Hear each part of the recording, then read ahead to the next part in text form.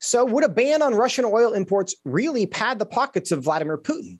Here to talk about this and other developments in the Russia Ukraine situation is US, Rep- US Congressman Chuck Fleischmann, who serves on three subcommittees in the House Appropriations Committee, including the Subcommittee on Homeland Security and the Subcommittee on Energy and Water Development. He represents the 3rd District of Tennessee. Congressman, welcome back to Washington Watch. Joseph, it's always a pleasure, sir. Thank you.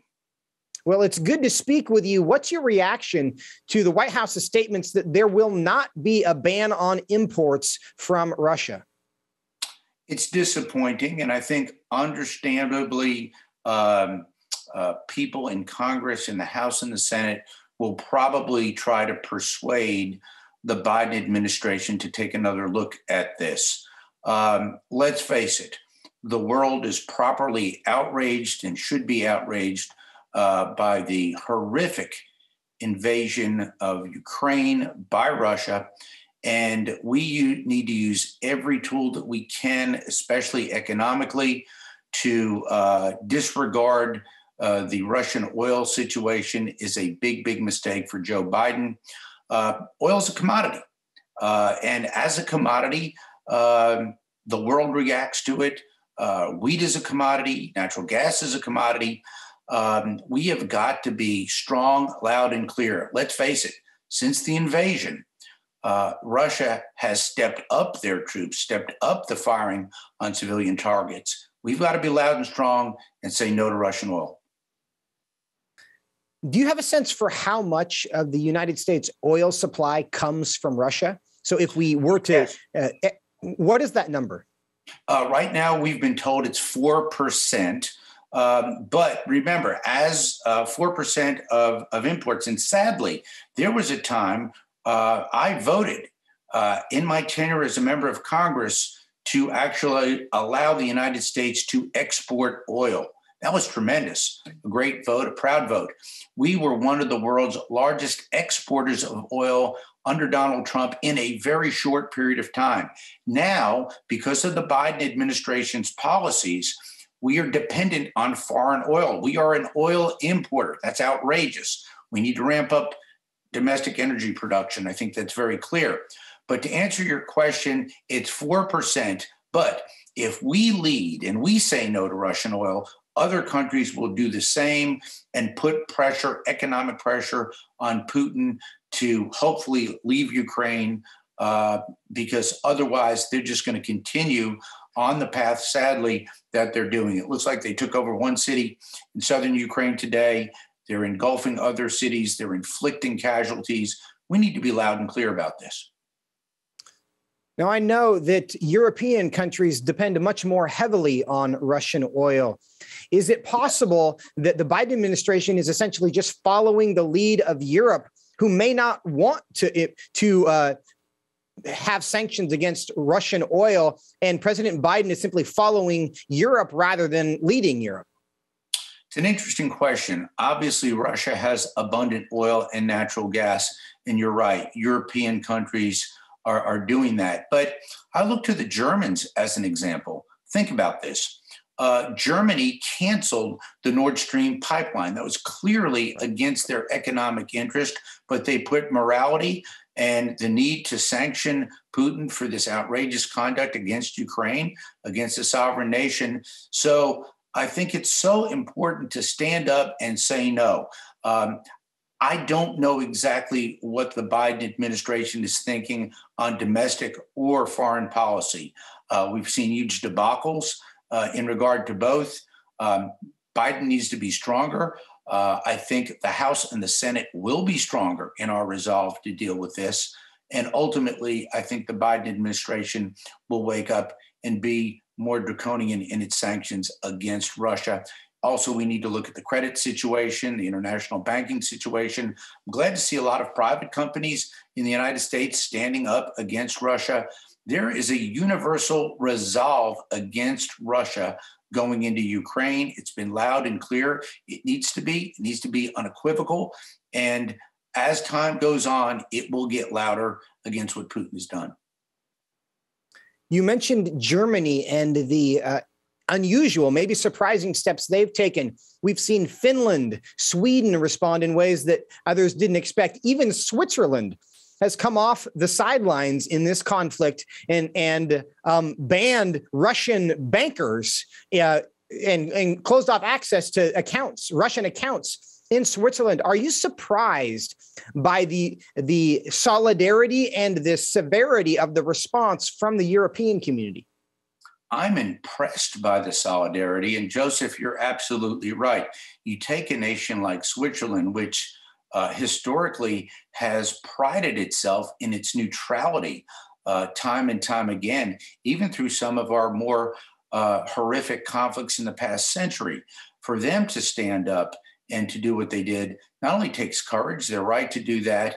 Uh, I will say this uh, the Russians have greatly uh, underestimated and miscalculated the strong international resolve against their aggression in Ukraine. It's being heard loud and clear. Uh, there will be a very strong punitive response diplomatically, economically, and otherwise. So uh, I won't say surprised, I'll say impressed. Uh, for Vladimir Putin, this has become a politically incorrect war, and he's losing. Now, perhaps in, in an encouraging development, Ukraine and Russia, their delegations met together today. They agreed on the creation of a humanitarian corridor to get civilians out, humanitarian aid in. Is this a good sign that this might be able to be resolved? Anytime we can have dialogue, I think it's a good sign. Obviously, I think Russia and the Russian people have realized that their leadership have gotten them into not only an unpopular war, a grossly unpopular war with horrific consequences for civilians. When you see over a million refugees streaming out of the country, it's it's horrific and all of the neighboring countries are outraged as they should be. Our NATO members, uh, all 30 are outraged. So uh, that that is a step in the right direction dialogue is very important, but I do think uh, the Ukrainians need to be loud and clear that Russia has got to leave their country uh, immediately and then seek to rebuild some of the damage that they've done to the infrastructure, to longstanding buildings. Even a Holocaust memorial was impacted by a missile strike. It's outrageous and it's wrong. And in that case, uh, very ironic the fact that a Holocaust memorial would be struck uh, by a missile strike in this invasion. Now, when we hear about the creation of this humanitarian corridor, some of us are confused, and I'll include myself in this. Why would Russia agree to this? Because it seems pretty clear that humanitarian concerns are not at the top of their list right now. Are they still trying to maintain some kind of moral high ground here?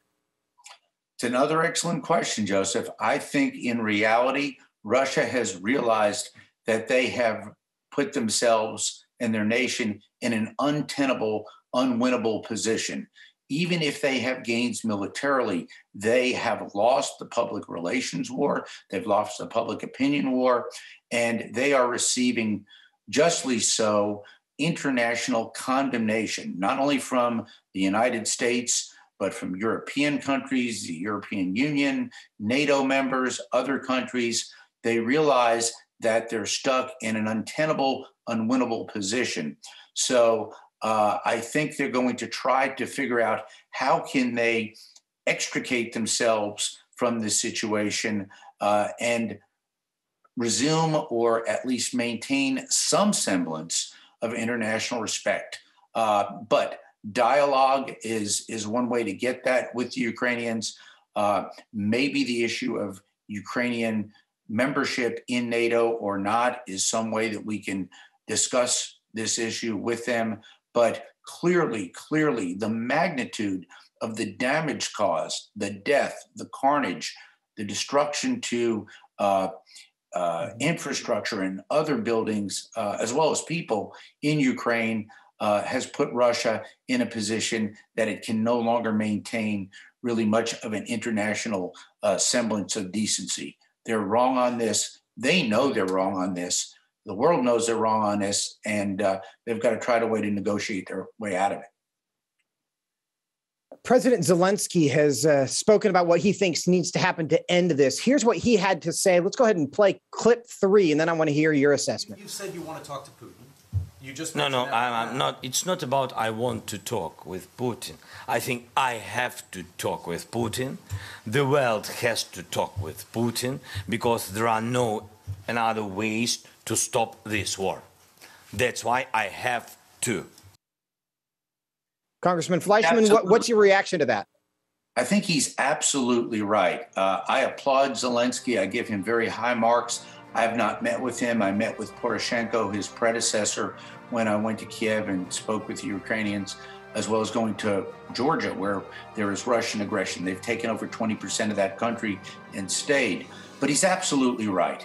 Uh, he needs to speak with Putin. They need to sit down, leader to leader, and basically find a way for Russia to leave as quickly uh, as possible and then to allow Ukraine to rebuild from this horrific attack and invasion on their country.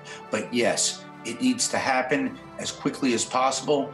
And Congressman Fleischmann, is one on one. Yeah, we are out of time, but we really appreciate your time being with us. We'll talk to you soon.